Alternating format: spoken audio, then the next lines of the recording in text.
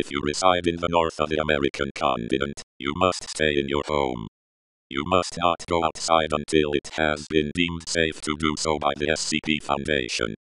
Entities resembling SCP-323-1, also named Wendigos, have emerged throughout the north of America.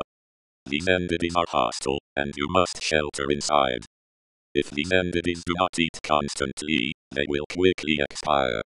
This is why it is beneficial to you and your community to hide, and not try to fight. The SCP Foundation will arrive soon to contain the entities.